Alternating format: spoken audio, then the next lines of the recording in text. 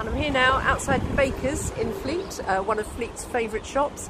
Um, as you can see, the guys here, they've got their visors on, they've got a table outside the front of the shop, and I gave you a little bit of a tour as well to show you the other measures that they're putting in place. As you can see here, they've got a queuing system in place.